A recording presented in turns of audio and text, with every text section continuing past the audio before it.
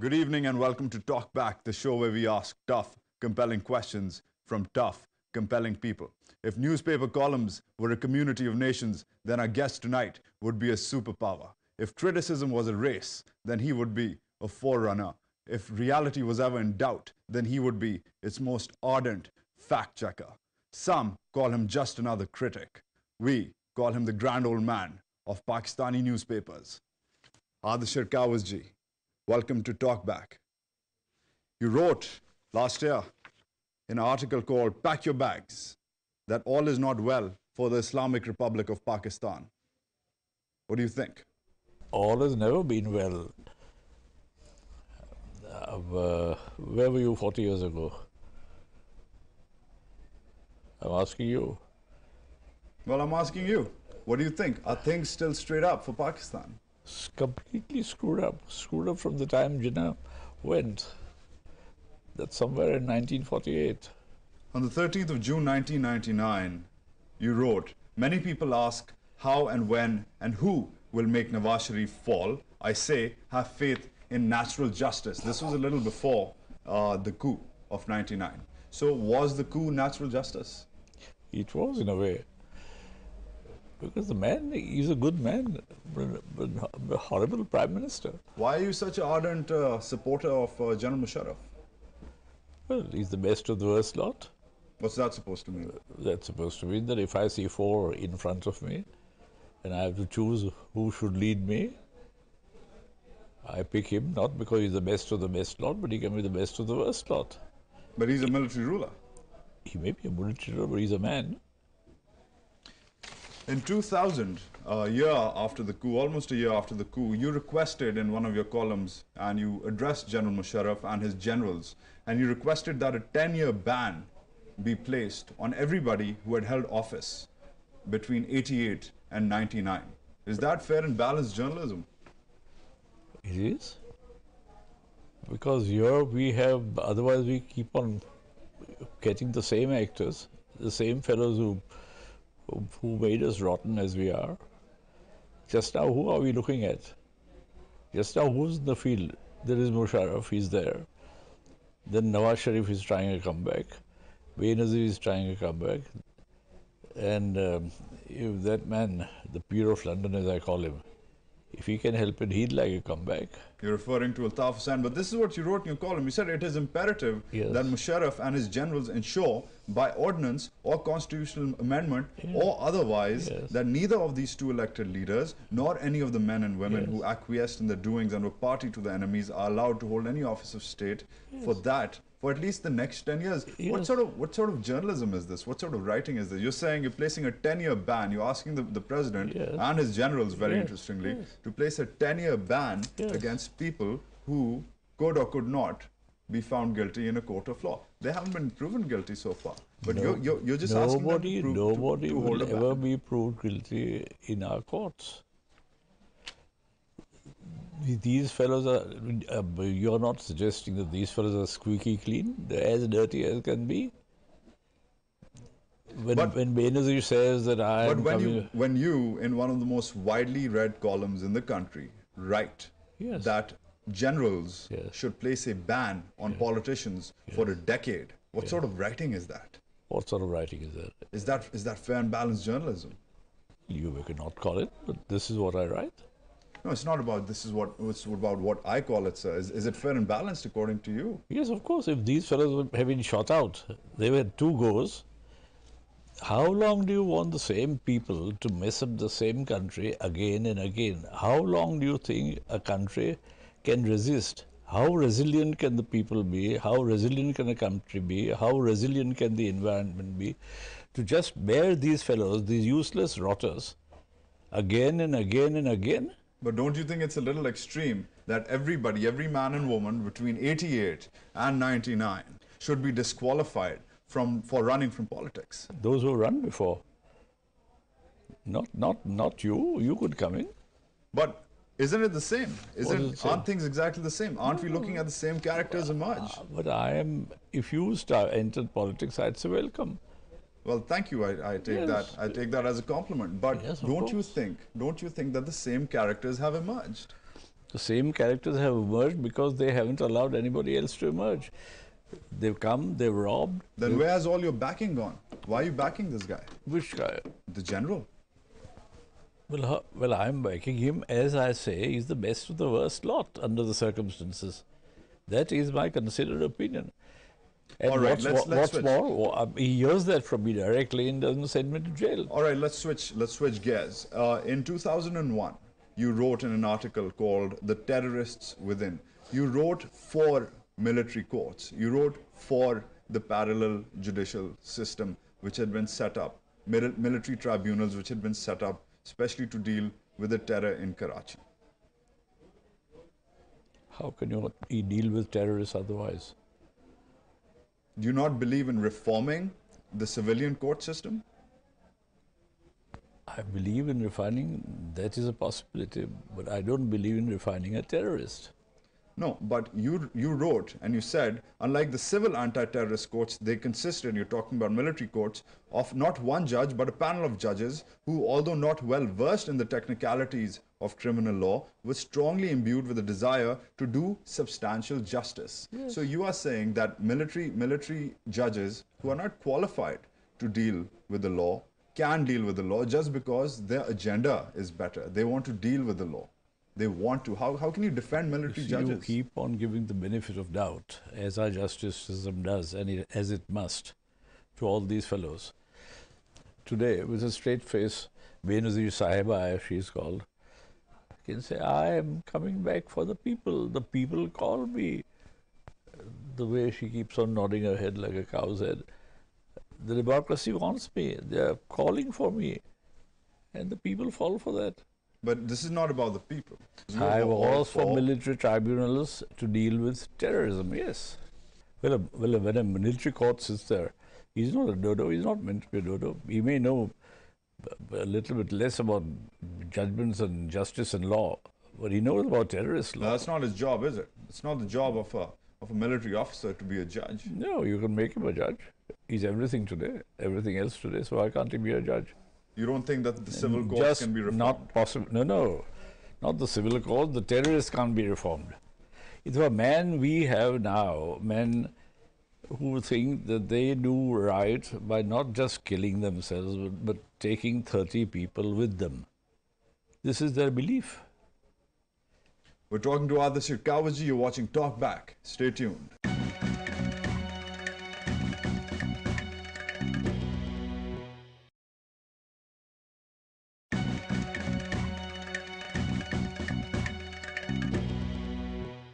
Welcome back to Talk Back. We are talking to Ardeshir Cowasjee. Mr. Cowasjee, you wrote in December 2001 in an article titled Resurrection that you wrote about President Musharraf and his army that he has the most disciplined and organized party of the land, which gives him unrestrained backing. You are ratifying the claim that the general heads a political party, the army. As a journalist, don't you think that's a little irresponsible? The army was a party. The army will remain a party in this, com- in this country for a long time. You've got to live with it. So you want to just live with it? I don't want to live with the army forever, but we'll have to live with it the way it go- it's going just now. Don't you think that's a rather unconstitutional claim that the army is a political party? What is constitutional and what is not constitutional? Who makes the constitution? The people do. People do. We are relying on the 1973 constitution. Is that right? That's right. Right. You know, what was the life of that constitution? Well, according to your writings, four hours. According to Your writings, Yes. it's four hours. four hours. So the man who made it knew that it was going to last for four hours. Bottom line is that man was elected by the people of Pakistan. You here are, are, writing in a widely read column that, and you're not refuting the claim that the Pakistan army is a political party. Instead, you're encouraging that claim. Whether I encourage it or not, it will be a it will be a party. The way this country is fixed just now, unless all these politicians behave themselves, there's no no way. The politicians come in for making money. They're jobless otherwise. Don't you see? Just now is the job to come back again. There's money in the kitty to rob again. And you think that's why they're coming back? Well, All right, I- let's focus. Let's focus on General Mush- Musharraf and your dealings with him. You have written um, a little uh, after the coup. In fact, just a month after, you wrote to General Musharraf and you said, "To General Musharraf, I say, make haste slowly, stand firm, and excel." Yes. You, you told a military man, a military ruler, to yeah. stand firm and excel at a time when you maybe should have urged him to reform democracy and bring it back. So what did I say? What does stand firm mean? What does stand firm mean? You told him to stand firm and stay in office. Stand firm and excel, meaning stand firm and do the right thing. And what was the right thing? Has he done the right thing? No, he's not. He's not cleaned up the mess at all. And why do you think that is? They all do it. They all look at their future. They all look at longevity. They all are—I should say, well, none of them is intelligent enough. None of them want to leave office. Every one Well, in retrospect, do you think you should have defended him because you did defend him a lot and you defended him along these lines? You said, Does a uniform prevent a fit and trim man? You evidently liked the way his health was Yes. from being a Democrat. yes. So, do you think a man in uniform, just because he's fit and trim, can be a Democrat? You're defending the president's uniform instead of discouraging it. Look, I'm saying that a general is a well disciplined man. That was I thought. Now, uh, I've lived on this earth for 81 years. I've seen many generals. And at one time, the general was a very fine man, a well trained man, a disciplined man, a fellow who wouldn't do wrong by the people, by anybody for that matter. Compared to Nawaz Sharif, Nawaz Sharif would be a jungli, Benazir would be a jungli compared to a general. Now, if my idea was the general was that, don't blame me because I've known such generals. But the way you defended him, sir, the way you defended him, you um, firstly you defended the situation about what brought about the coup. You said that we created the coup. We meaning the people of Pakistan, probably. You said we created a situation in which the chief of army staff and his men were forced to throw us out. You did not blame Nawaz Sharif. You said we, thus defending the coup. You also went on to explain in another column uh, in 99 called Jinnah's Pakistan that just because the general went to St. Pat's and FC College in Lahore, we can expect him to be a liberal man. Now, by the same uh, measure, George W. Bush went to Yale and Harvard. Benazir Bhutto went to Oxford and Harvard. Are we supposed to take someone's education, someone's resume? Because this is how you were defending this man. Education counts. Education does count, but do you think this is a way of defending a military ruler? What's wrong in trusting? What's wrong in hoping? Where do you think I'd be without hope? So that's what you were doing. You were hoping and trusting. Yes. Every time a new guy comes, I hope and trust. But you were still hoping and trusting a couple of years later, while uh, you responded to But a if he, if he enumeration. still is the best of the worst lot, what am I to do? you, There's a bankruptcy in this country of people, absolute bankruptcy. We keep on looking at who? We keep on looking at a man who, who more or less volunteered to go outside. And then he said, I made this terms, well, whatever he signed, he signed. And uh, I don't know where he'll end up. He hopes to come back after, after uh, Ramzan. And he will come. He must come back. Well, this is his home. But you kept on defending him further. You've defended him several times throughout the years. In March 01, when all his uh, Iqbal Haider, all the groovy Iqbal Haider, listed down Yes. his his uh, his surrenders, Yeah. as uh, he called it, on the announcement of the procedural changes in the blasphemy laws, continuing sep- the separate electoral system, restoring the zakat groups or religious seminaries which impart military training, refused to apply to the Supreme Court for review of the interest verdict, failing to appeal against the Shariat court, ruling on family laws, negotiating with extremist groups when they issue their frequent threats, encouraging the formation of militant organizations, amending the PCO. You know what you call this? Do you remember? You called it a glorious retreat. You compared it to Churchill's retreat Yes. at Dunkirk. Yeah. You compared General Musharraf to Yes. Winston Churchill. All right. I felt that he retreated and he had to retreat. For instance, uh, just now, when he took on the judges, the uh, I wrote a column and said he should retreat. That was not my idea. I'd, I'd followed the editorial of the Times. And the British are good at politics, good at foreign affairs. In their first column after he attacked the general the way he did, they said generals know when to retreat. You also called him the son of Jinnah after his address to the Sirath conference, 17 June 2001. I call him the son of Jinnah. You called him the son read of the Jinnah. col- whole column and I can tell, tell you why. You said reading the English transcript of General Pervez's words spoken from the heart at June 5th at this year's Sirath conference, it could be said that his son is born. For he has in many ways echoed the creed of Muhammad Ali Jinnah, enunciated in August 1147 before the first Constituent Assembly of Pakistan. Correct. Called him the son of Jinnah just because Yes. the man made a speech. Yes. A son is born. So that was He your yardstick? So, you object to it, you object to it. Surely I'm, I'm, I can write what I like. I always um, argue with my editor. Do I have to argue with you? You're one of the readers. Take it for its, for its value. Ignore it. Am I, am I saying when I write that you, a reader of Dawn, read the damn thing and accept it as gospel? That is my view. I write under my name. I am responsible for my view at that particular time. Don't you think you should write responsibly? I, Calling a military ruler just because he made a speech the son of Jinnah, don't you think that's uh, that's going a tad bit too far? You may think so. 2002, in an article titled Poppycock, you said a military man our president may be, but so far he has remained benign and relatively tolerant. He has not had anyone murdered, mutilated, or manhandled. He has not filled up our jails with his op- opponents. The press is free, is as free as it has ever been. He has managed to rid the political scene of at least a handful of our grand larcenists. No mean achievement this. With a little bit of luck and a deft hand on the tiller, we may refloat. Have we refloated? We may refloat. Have we refloated? No. Too much for this bucket handle. You also claim that he's given us a free press. Has he given us a free press? Just recently, Free press, press has never been free. He's got about 80 items on the air every day.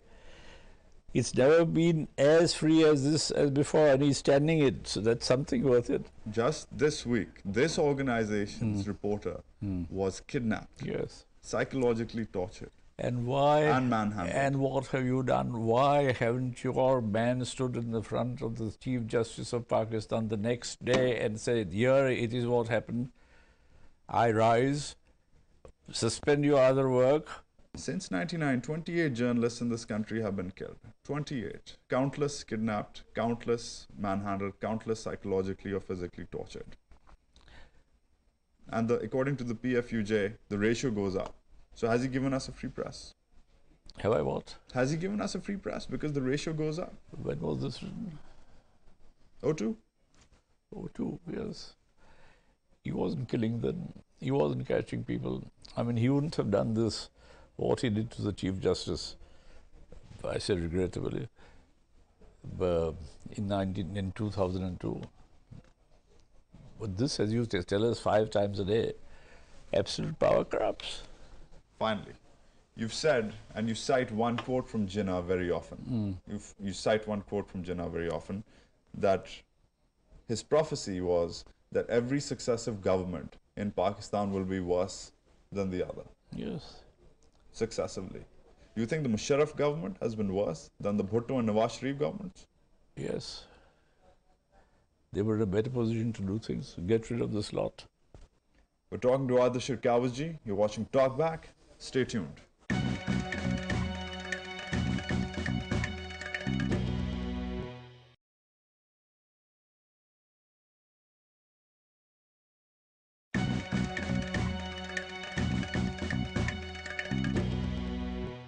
Welcome back to Talk Back. We are with Ardeshir Cowasjee. Ardeshir Cowasjee, on the 21st of January 2001, in an article titled Shame, you said Kashmir and all that goes with it should be relegated to the back burner until we can pull ourselves up. Don't you think Kashmir is a vital security interest of this country? Don't you think that solving it should be a priority? I've said that it should be on a back burner. And thank God, at least he's done that. After all these years, he stopped calling it the core issue, the core issue, the core issue. We were tired of listening to the speeches and everywhere core issue. And if he was going to stick to the core issue, we wouldn't have been where we are today. I think he's forgotten Kashmir, and rightly so. He's making friends with India, which we must do. He's talking of deterrence, which we must not do, because if I were India, I wouldn't attack Pakistan. I wouldn't take over a country full of Nanga Mughas, 170 million bigots, non-thinking people. Do you think this is an asset? You just answer me one question. Which, which damn fool prime minister of a country or a neighboring country would like to attack us? Answer that question. I mean, who would like to take over this country? We've got no gold in the ground. When you open a tap, we get no water. We don't get oil. There's lots of copper, but by the time we get to the copper, the copper is more expensive than gold. We've got absolutely zero. People-wise, we are overcrowded. There are, according to your your statistic, which you which you spread every day, there are so many million homeless, so many million living below the poverty line, earning less than a dollar. This idiot of a prime minister, he calls it, uh, he calls development, what in his term, development means roads and high buildings. But don't you think Kashmir should be solved rather than put on the back burner? How are we going to get Kashmir? Through whatever means necessary. And diplomacy is That's probably your, the best means. That's your view. It's the view of the people. Which people? The people of Pakistan in a recent in a recent survey yeah. held by Dawn News yes. and published in the Herald as well. Yes. Uh, there was a different survey there. Yes. Most people in Pakistan want Kashmir solved. Peacefully. Solved Most how? people in India want Kashmir solved. Yes. Well, peacefully. Peacefully, that means what? Here's what we have, solve it. Do you think uh, if the, both sides are doing it for the time being, I hope it lasts. You wrote on the 17th of October 99, just a few days after the coup, you said, and you were talking about nuclear weapons, you said, we and the world should now feel safer knowing that the nuclear button is in his hands rather than those of the unpredictable, unworthy, unthinking politicians such as Democrats, Benazir Bhutto, and Nawaz Sharif. Yes, I think he's a more responsible man. But many say that this man engineered Kargil, which almost brought, according to analysts, Pakistan and India close to a nuclear situation. This man was for all for Afghanistan, wasn't he? What did he do on the on the uh, tenth uh, of uh, on on ten eleven? On 10 11, he made a 90, 180 degree turn. He's capable of doing that. And he saved this country. So you he thought just he just saved this country. Do you think any of his other idiots who would have there, they could have done it? So you thought uh, that a military man, hmm. who many say hmm. engineered Kargil, was a better choice for controlling nuclear weapons yes. than Nawaz Sharif and Benazir Bhutto. Yes. Sounds strange. Don't so, you think? So I can't help it if you think it's strange. I don't think it's strange, and many people who read my column don't think it's strange. You have every right to think it's strange. How can I prevent you? You've also written for signing the CTBT, the Comprehensive Test Ban Treaty. Yes. Why are you for the signing? Don't you think that not signing the CTBT gives Pakistan nuclear parity with India? What nuclear parity? Are we going to nuke them? To get nuked ourselves? Are we that stupid? Well, the the basis of Pakistan not signing the CTBT is because Pakistan wants India to sign it. We Be want India to sign it. because that gives Pakistan nuclear parity. This is neither of strategic the deterrence. So far, I don't think we've got any damn fool leader in this country who will press the button. I'm not saying we won't get one tomorrow. But do you know what new can do? And we'll be killing Muslims on the other side, we'll be killing people. And where will we, for God's sake, I mean, Hiroshima was long before your time. Were you born? We're talking to Ardeshir Cowasjee. You're watching Talk Back. Stay tuned.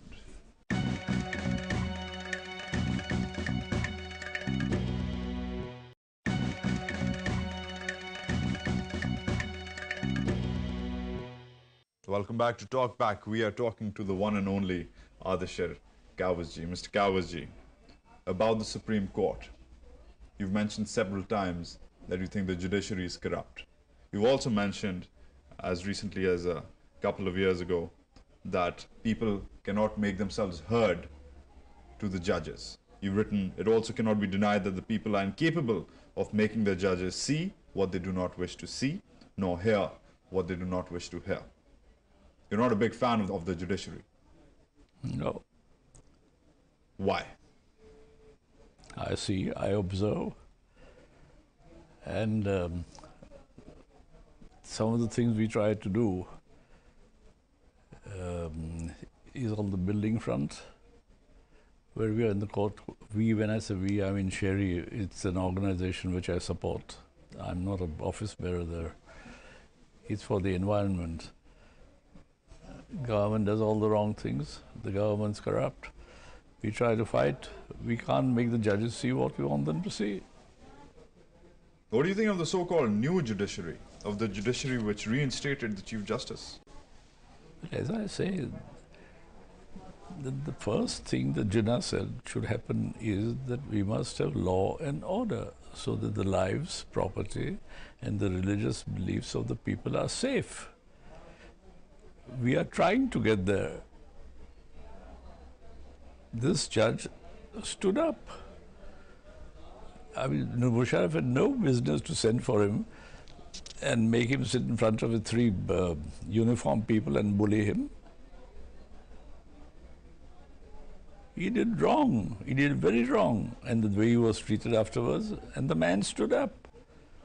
I'm, I'm willing to beg any man who stands up for nonsense. But overall, you won't back the judiciary. I don't know how this judiciary will behave. You've also written about who is a good judge and who is not.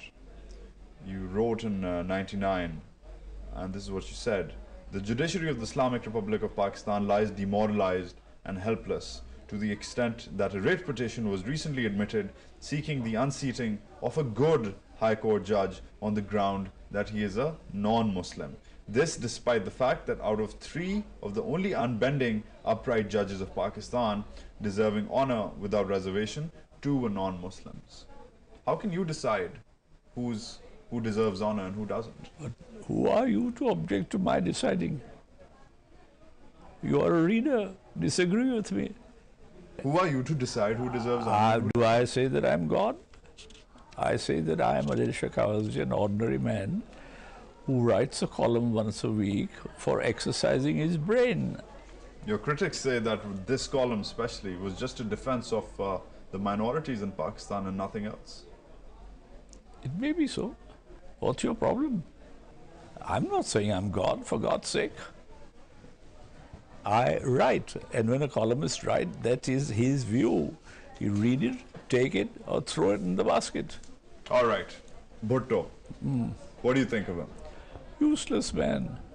He was a friend of mine, but thoroughly useless. Megalomaniac. He's the man who started all the rot.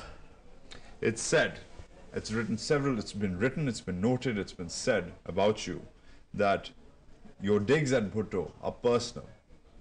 They're not professional. Personal meaning what?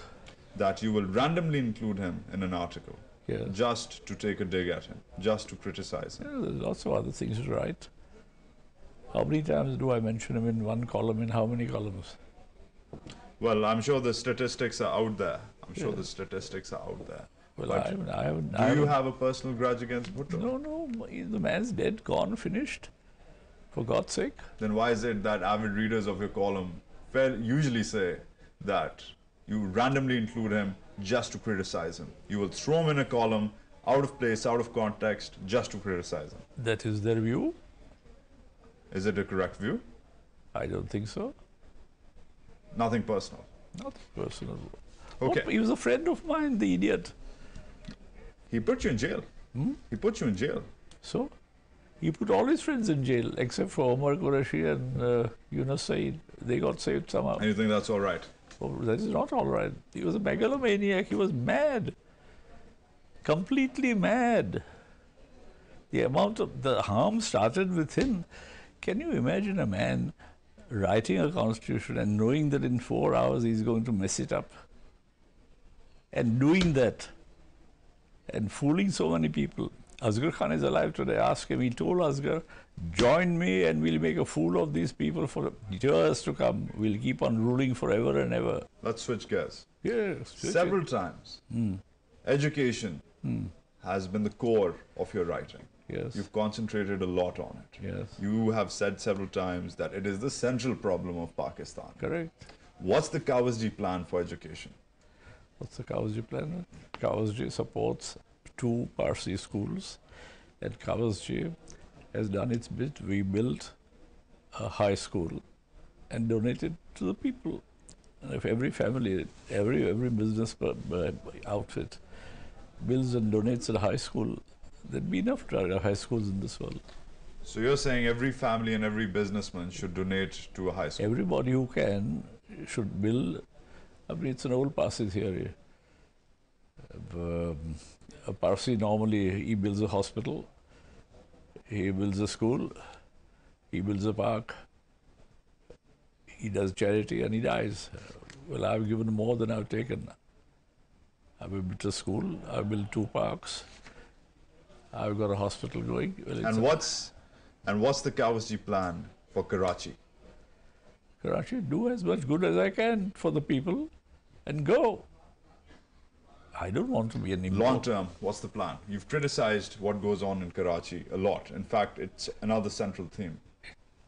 Long term. Anywhere you go, first of all, you see dirt, you see muck.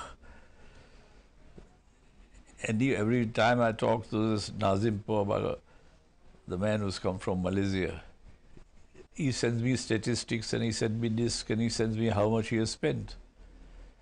Just by spending money the wrong way, you don't get it right. I can't, I can't move out of my house and I can't travel 20 feet without an open ditch, without facing an open ditch. Your detractors say that you have encroached upon property near your house. let the dictator face me. Which is that property which I've encroached upon? To the south and the west corner. Oh, you mean the garden next to my house where I I've grown trees? That is a plot meant for road widening. I'm glad you brought it up. That is a not a plot. The place next to my house is reserved for road widening, and I said that all that can happen there is the road can be widened. Till then, I have fenced it in and I'm growing trees. And the gate is open. Today you can go and live under the trees if you can. I'm sure we want to live under the trees. We're talking to Ardeshir Cowasjee. You are watching Talk Back.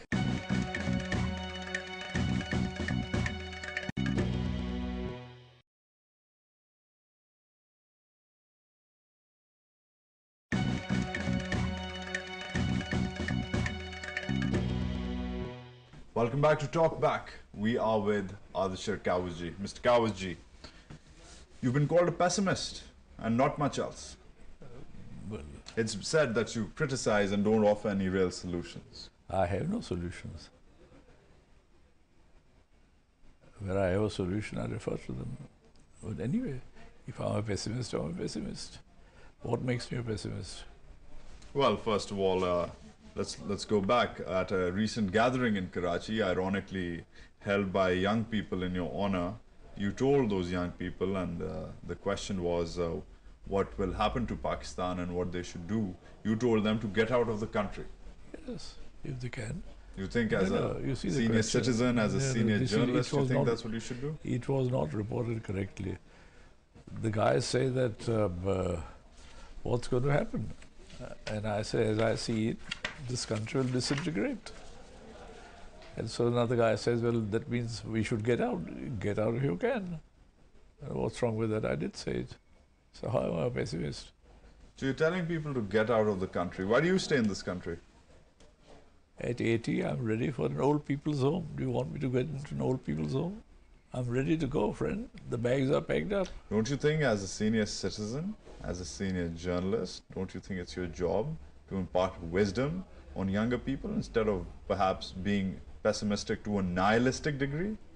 A nihilistic? I don't see anything good coming out.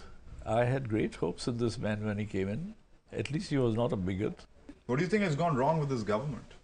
Which government? This government. Of the man you've backed for the past seven years. Well, first of all, he was alone. Look at his partners. Look at who he has to side with. And that's out of necessity, I suppose. The Peer of London and his company, the Mullahs and his company, Chaudhrys and his company. If you were to go back hmm. seven years, what changes would you make? What changes would you tell him to make?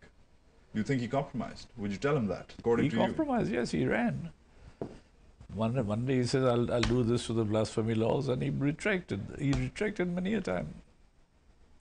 And what would you tell him he should or shouldn't have done? He shouldn't have retracted.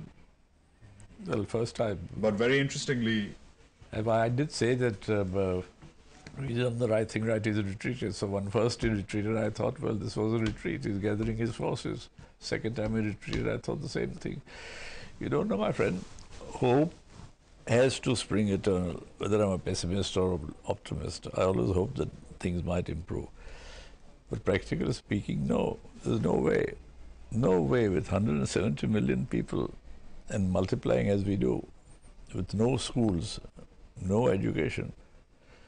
No, no, it's you. If you say if you are trying to say that I'm saying that there's something very wrong with the people, it is.